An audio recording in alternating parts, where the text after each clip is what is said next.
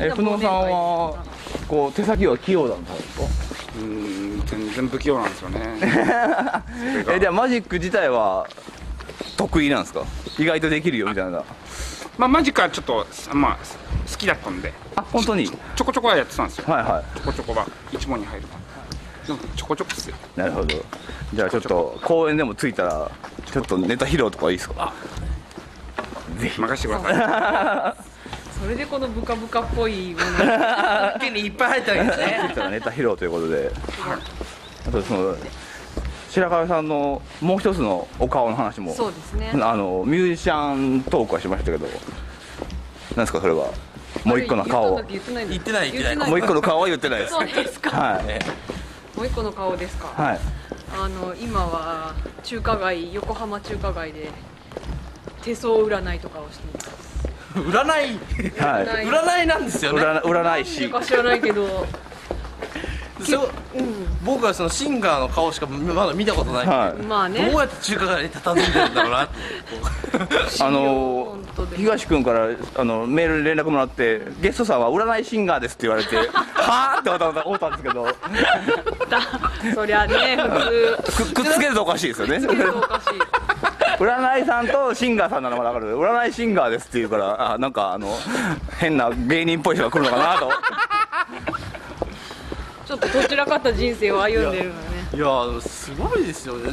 な何を思ってそのうう占いをずっとこうやってたんですか？占いは結構ねあのーそういうの好きな好きな少女だったんだはい。また少女時代に戻る。だから本当だから子供の頃からやってたことばっかり今やってるので、はいはでも結局何がメインだったかっていうと、うん。失恋した友達の話を聞いたりするのがすごい多かったのね。い相談を。はでなんかもうそういう人ってこう夜中とか関係なしに電話かかってくる。死んでるそう。女の子は多いそうですね。そう会社辞めてフリーだった時にすごい夜中の3時になんかファミレス行ったりとかいろいへろしてもう大丈夫だからとか言って言いに行くっていうのがなんか1年ぐらい続いてえせっかくだから。みたいない。何占いですか？占いは。私は手相とはい。カードがメインです。カードっていうのはうんタロット,、カード。はいは他のカードも使うけどなんかあの一番知名度が高い方が、うん。女の子はなんか納得しやすい、いうんまあそうですよね、え占い師になってどれぐらいですか？えーとそのプロでっていうのをやり始めて1年半ぐらい。あそうなんですか、うん。じゃあ結構じゃあ最近じゃ最近なんですね。あの嫁入りが決まってからええたのなるほど。そうなんです。あなんか暇になっちゃう。公演がありますよ公演が。でちょっと公演で休憩してネタ見せとあと占ってもらえるんそうですか？ですね。もうぜひぜひ。どっちからじゃなきゃ見ちゃダメとかあります？えーっととりあえず横と後ろから見ないでください。はい。ではここではい。久野さんのネタ見せでございまはい。どうもマギーフノです。よろしくお願いします、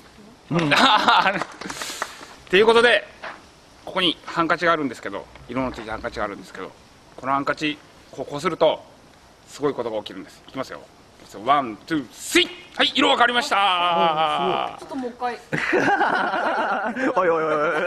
悪いお客さんみたいになってますよ。か絡むな絡むな相手いや僕手動できましたそうそうそう。あれ何色と何色だったかじゃあ今日特別にはいいきます、仕込んであるじゃな。いですかいきます。ちょっと今黄色が見えちゃった。 one, two, three はい。あまあこれ欲しかったらあの東急ハンズで 1200円ぐらいで。こんな感じで。えでもすごいね。これよくできてるんですよ。あ バラしていいんですか？ええねえねえネタ見せじゃないんですか？これ一応番組なんですけど大丈夫ですか？これどこでも使えるマジックです。はい。例えば宴会とかで。1200円出せばみたいこの割り箸ね、はい。これ割り箸が一瞬にして消えるっていう。ことですいきますよ one, two, three あ。わかりました？なあの親指の方に見えて。自由は？見えましたね。でもそれは練習がいいそうだね。すごいすごい、今本当上見ちゃう。ワン、ツー、スイッあでもほんあすごい。それ私でもできる？できます。ちょちょっとやって。みてね全然ネタ見てなってないんですけどこれいいんですか？こうでしょ？はい。ちょっとさんマイペースですね。まあこうでしょ？不思議なこネタ見てネタ指導中指としかもいきなりね見たまんまやろうとしてるから。中指と親親指こうやってあとここでは弾いてあげれば。あこう。あわかります練習。こうでしょ？練習しときます。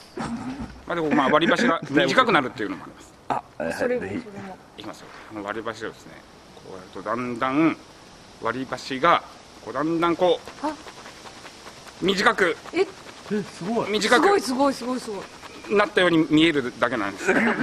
早速。またやってる。練習士が違ってるってだから。ね全然ネタ見てなってないんだけど。ありがとうございます。ちょっとそれは練習しときます。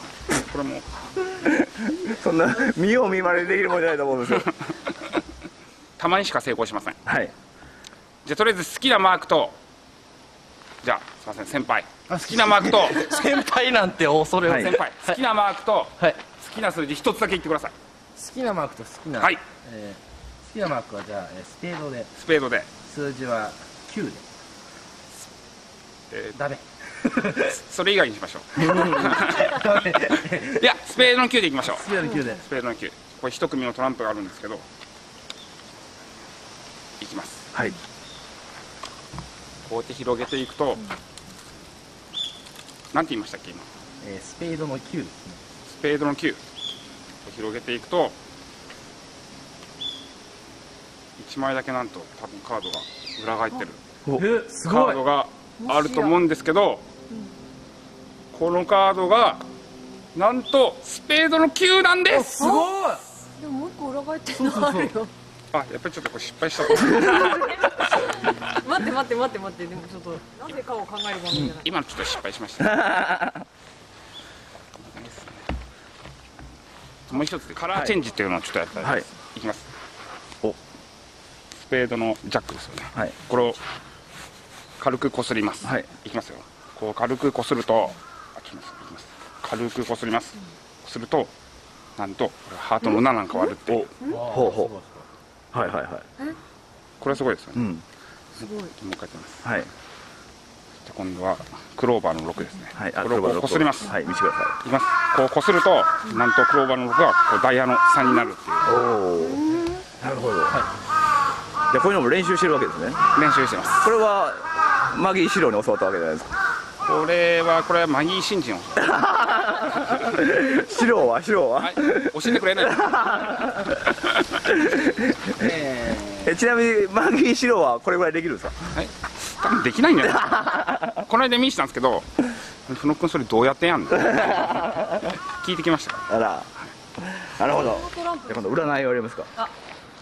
マジでじゃあマジでいいですか？はいどうぞ。わかりますここに座ってこっち向いていただこう。こっちだこれどっちの手がいいとかってあります？か両手見ます両手ですか？両手なんです。私が見てるのはこう西洋のねはい。手相の、まあ、メソッドなんですけど左手あ右手は左の脳につながってこっちの左手は右の脳につながってる、こうクロスになってつながってるのでこっちはその左の脳がやってるこう意思的なこととか理性的なことそういうところがここに出てくる、うん。まあ、こっちはお仕事とかこう対人関係とかいったこう外向きの自分ちょっと人目を意識した自分はいはいはいこっち側は無意識をこう司ってる右脳がこうこっちはだからこう一人でいる時とかこうリラックスしてる時の自分。なんかこうこっちすごいこっちね仕事の手なんですけどあの結構戦いに行ける感じの手はしてますね。このあの線がこう突っ切ってるでしょ？はい。うん、こっちはこの感情線っていうのと頭脳線っていうのが1本ずつ2本分かれてるんだけどこっちはこれが1本バシッと、まあ、頭脳線こっちに出てるけどもこうつながってる人っていうのはあのマスカケ層って言ってねもうもうちょいこう完璧なって感じじゃないけどもあの結構あの荒波を行かなきゃいけない人生になると言われてます。仕事面ね。でも荒波を行くだけのちゃんと力も与えられてますと言われててでそのこう波がいちいち人より大きいので回避しようとすると飲まれてひどい人生になっちゃうんだけどはい。向かっていくと人よりも高波に乗って上に上がってきますって言われてます、うん、これは結構強い手相なんかこれをあの持ってると、まあ、すごく周りから見たら大変だねとかバタバタしてるねって見えるんだけども、うん、その分ちゃんとあの戦って常にチャレンジをしていけばどんどん上に人の倍の速さで上がっていけるって言われて、うん、これはもうあの中国人とか大好きな手相だし昔の戦国三武将がみんなこれを持ってたって言われてるほど、うん、そうそうそう。そうだから両手に持ってたりとか。あとまあ中国人ってすごく開運とか大好きだからあの自分で切ったりとか手術したりとか手相の整形とかもするんですけど、まあなんかそれ言いますよね、うん。それ効果があるんですか？それで、うんあのー私が思うにですけどその脳とつながっててここにこう現れてくるっていうことは、うん。自分がこうなりたいってイメージしたものっていうのは脳から伝わって現実に変わるんじゃないかと、ああなるほどね、うん、だからその3つをこう連動させていくっていう意味ではここに例えばね先生によってはゴールドのペンで財運書きますとか言うんだけどもそういうことするとあの確かに財運の方向に脳が向かっていくっていうのはあると思いますね、うん。楽しみにって、ありがとうございます、うん、すごい。こんなもんですが、手なるほど。不思議でしょ？手相も良かったんですけど、ずっと今女性の方に手を握れて それしか考えてなかったですそのそのすいません。ありがとうございました。あこちらこそありがとうございました。はいこれ私緑道です。あほら。さっきの向こう側いや違います。あ違う。より北側でもう一本違う緑道。これも暗渠暗渠です。これは、えー北沢川緑道と言いまして。北沢川緑道って聞いて何か思いません？北沢側下北。ピンポーン。下北に川なん東北東下北のそう下北沢上北沢の元は北沢川って分け目あ分け目じゃないんか水の音してませんこれ下流れてるんだよねちょうど。これだ。北沢川の上流だからテレビでちょうどこの間ブラタモリでやってましたけどえこっち側に玄関がある家は新しいです。えへえ。あこのあ。緑道になってからだから。そっか。それ以前あはなるほど。それ以前はこれは裏裏口だから玄関ができてるはあはあはあだからあ明明らかに裏でしょ。はいはい。普通は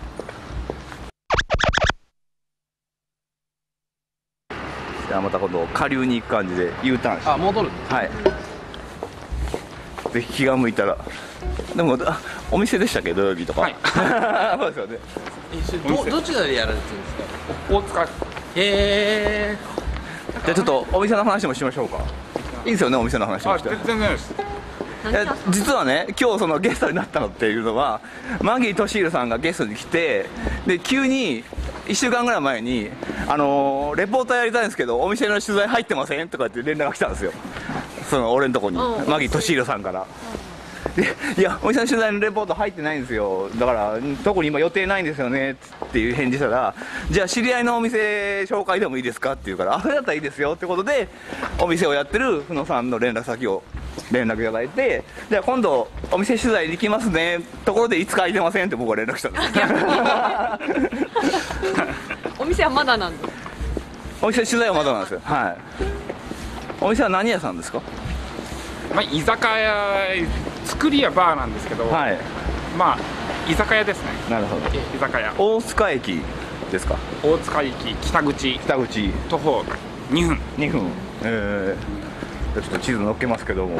えそれはお店は初めてどういうぐらい7月15日オープンだったんで、ええ今4ヶ月ちょいあじゃあ全然最近ですよね。もう全然先です。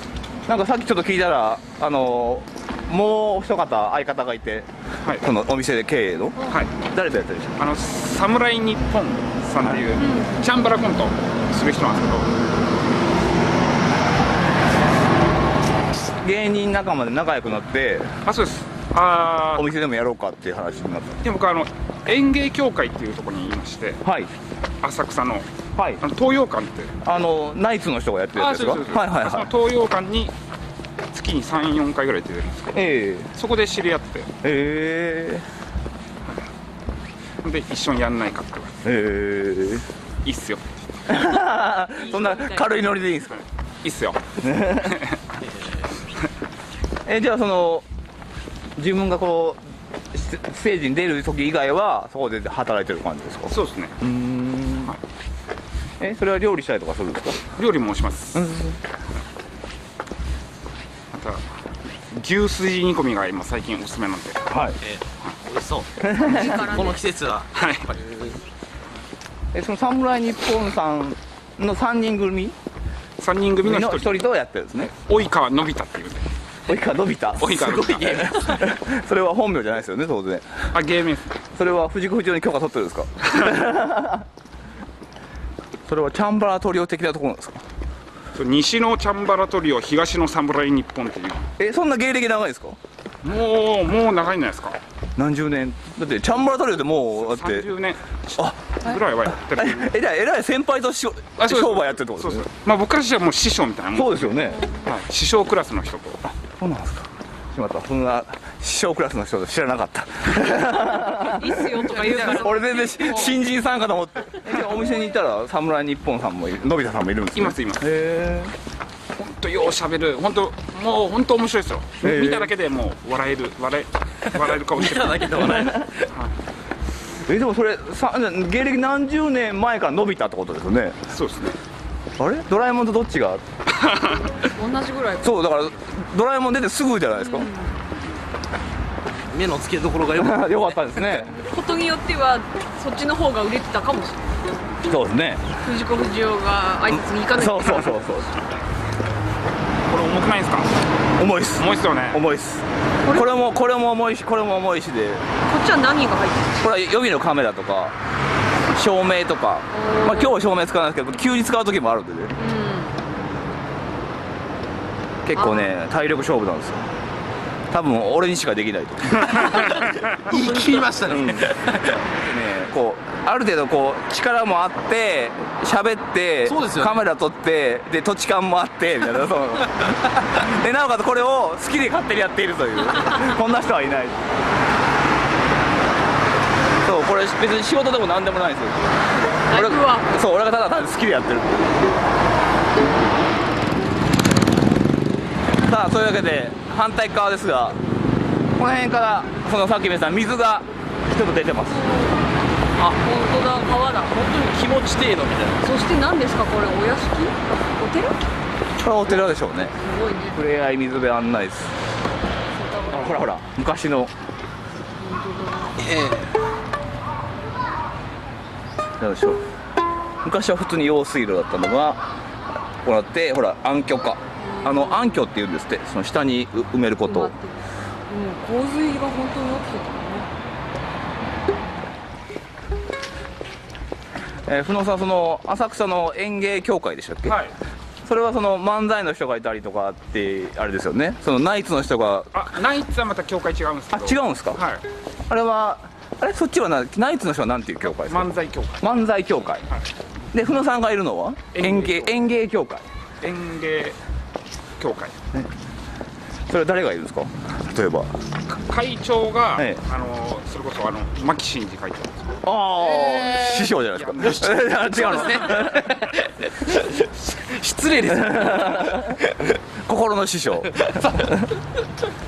えーあと漫画太郎さんとか。はははははえ漫画太郎なんてあのこうなんていうんですか？こう書く人？あそうああのあ荒々しい感じの絵描く方それ漫画太郎でしょ。あ全然違う。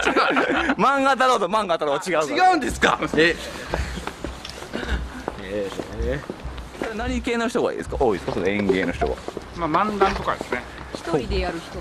一人の、まあ、コンビもいますけど、え結構その辺の顔は知ってます？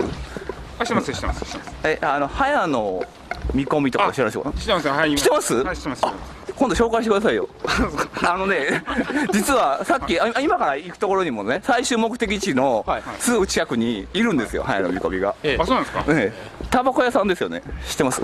ちあそこまでは知らないですけど。あので実はもやもやサマーズとかにも出出てるんですけどたまに、えあのタバコ屋さんなんですけどすごい芸人をアピールしてるんですよ。今日ちょっとちょっと行きましょうか。ちょうど最終地点のすぐ近くなんですよ。えで僕ん家の近所なんですよ。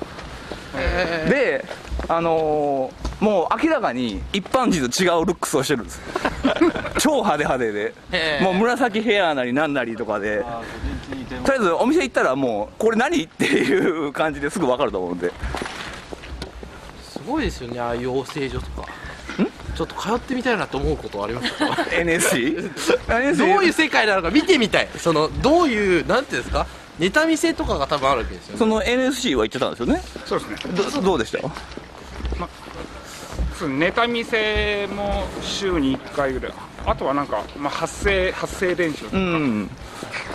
だけだけどなんか見えてないボールでキャッチボールしろと。かああやってましたねそうだから結構あのお笑い芸人さんもテクテク来るので NSC に通った人は来ますよ、やっぱりその芸人仲間がいっぱいできるのとまあ基本は教わるんだけどまあそのネタがそれでできるかってことでもないみたいな、あのダウンタウンがいた頃とかフラメンコの授業とかあったでしょ？えなんで？なんかかえだからそのパントマイムがありその演劇の練習があり発声がありまあいろんな方向はできますよっていう。そうその中でフラメンコの授業があってカサレと買えって言われて でそれが嫌でやめやめたとかそのか買わなかったみたいな話をしてましたけど。へえ。フラメンコの授業えその時は何してたんですか？発声あメンあメンバーかいな言えよみたいなところですかね。なんかそうそうですね。またコンビ組んで。ネタ見せやって。本当それが初舞台だったから、うん。初舞台っていうか初めて自分で、ね、かすっごい緊張したのを覚えてます。ああそうですね。前で見せるのは初めてその時は本当初めてだその時は漫才をしたんですか？なんかココントみたいな、い。ショートコントみたいなので。やってましたねえ漫才の時はどうだったんですか？出来は。手応えは。漫才の時はちょっとちょっとあったぐらいですけど。ちょっとあった。はい。それあの同期の人とか結構有名どころいたんじゃないですか？あお大阪だと。ー大阪は同期でいうと誰？キングコング。ああ、はいはいはい。あの辺は結構花の22期生って言われてて結構みんなみんなみんな売れたんじゃないですかね。えー、中山きんに君と。はいはいはいはあと南海キャンディーズのいはいはいはい。山ちゃん。はいはいはいはいはい。華やかね確かそうですね、やっぱりそういう人たちはその養成所の時代からちょっと違ったんですか？面白かったとか。まあキングコングさんはうん。もう群を抜いていいってましたけど。えあそうなんですか？へ全然。えあれ？キングコングは前から2人だったんですか？2人で入ったパターンでしたっけ？それとも養成所で知り合ったんでしょ養成所で。知り合っ養成所で知り合ったのにもう群を抜いてたへたもえう。もともとはなんかち違うコンビだったみたいなんですけど。へえ。その片っぽと片っぽがくっついて。なるほど、さあじゃあちょっとここからまた南に行って元のところに戻っていきましょうかね北沢川緑道はこのまま行ってまた池尻大橋に戻るという感じでこちら側に。に三茶にも、はい。じゃあふの映画屋さん。でした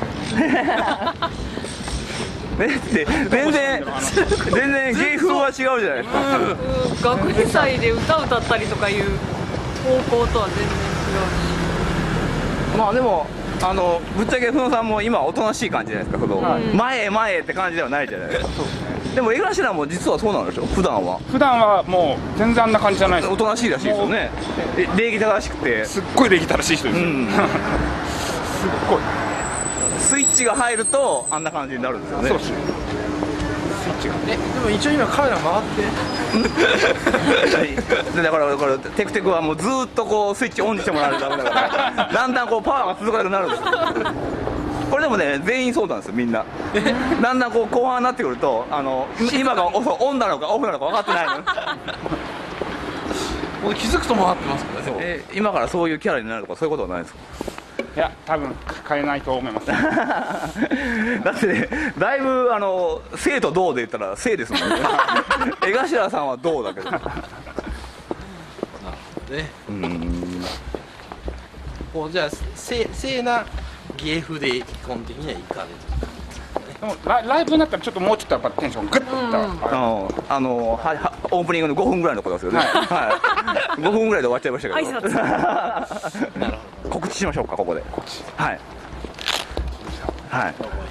魔法のジャケットそうあのだけどマジックじゃんですね。はい。すごい。こちらはい12月20日はい。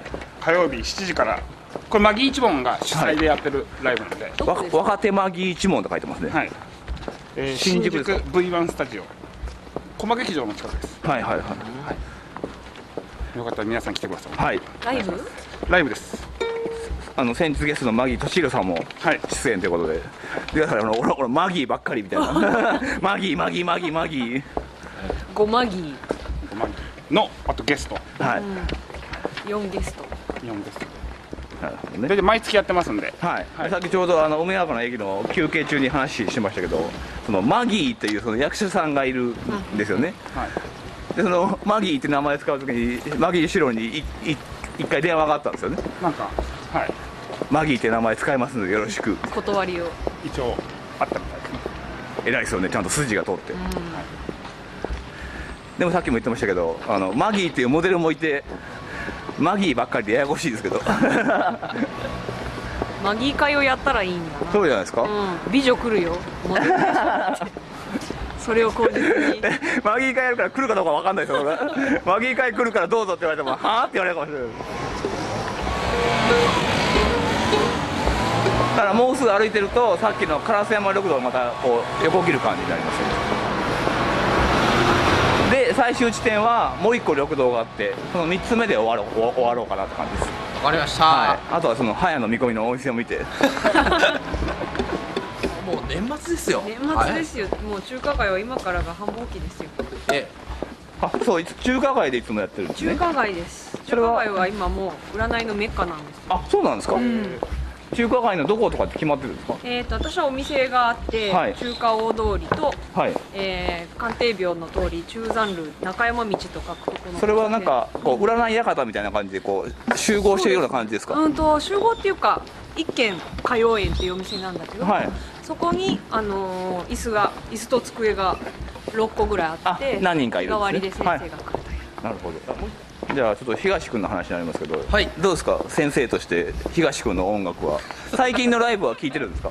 最近はだからそのこの間私の教室の発表会にゲストで来てもらって、はい。ゲストですよゲスト。でもねあの当時そのそれこそ新宿のライブハウスで発表会やった頃とかも、はい。ものすごいいい歌を書いていて、うん。で歌ももちろん良かったし。当時は？詩もやどうじゃって言わない。どうじゃって言わないけど今もいいんですよ、はい。ピュアな感じでね、ええ。良かったんだけど、うんピュアな感じだけど。だけどあれなんかこの文脈的に言うと。その後東君が大学出て、ん。音楽でやっていきたいと思いますとか相談に来うて、ん。で就職したらっていう話をちょっとしたりとかして。そうですね。そうだから東君はなんかこうあの生活とかこう、うん。自分のこととかから詩を作るから、うん。それが高校とか大学までのせ経験で止まってしまったら、ああそうでねすね。詩が書けなくなっちゃうよと思って、なるほどね。そうだから要は一回サラリーマンやってることでそういう人たちが共感できる曲を書いて。実社会を経験しろと、うん。はいそうですね。そのなんか切なさとかの方がまあなんかリアリティあるじゃん だってリアルな歌書くでしょ、まあそうですね。でそれそれでどうだったんですか？発表会は先生。いやいやいやすごいあのうちのおば様たちに大好評。お。それは何歌ったんですか？それはオリジナルオリジナルオリジナル曲をやりました。はい、あここの番組も流してもらったあのはい。僕らの日々はいっていう曲を、えー歌いあなたの一押しの曲。おもう一押し。はい。別にね僕押したいわけじゃないんですよ。超人気なんですよ。って言うんですよね自分で。この自分で言うところが自分でランクを下げてるのがよく分かってないところでね。いやだって超いい歌なんですから自分で言うなっちゅうだからでもちょっと聞きたいですね。ほらほらほらね。ほら。そこまでそこまで。押すんでしたら。まあねあのテクテクはそういう時は普段こここでどうぞって言うんですけどあのテクテクは流さないから。今もね待ってたんですけどね言ってくれない。んで YouTube で見てね。載ってますから。だって YouTube ではい。僕の知らないところで23回しか会ってないその音楽家の人が勝手にコピーしてるんですよその曲を。あら。すごいじゃない。で最初はコピーだけだったのがしばらく経ったら PV に変わってるんですよ。おそれすごくないですか？すごいすごい。勝手にですよ、いまだに連絡は？いまだに許可が来てない、まあ別にいいかなと思ってほっといてるんです、えっていう設定にしてくださいねってことやって違う。じゃあ本人本人呼びますから今度それ YouTube でどうやったら見見れるんですか？えーひらがなで東康之って検索すると。ひらがなで東安之そうですね。僕の名前入れると、ええ。なんでね。そう。そう残念ながらねもうその東康之をいいっていうミュージシャンを東康之しか聞いたことないんですよ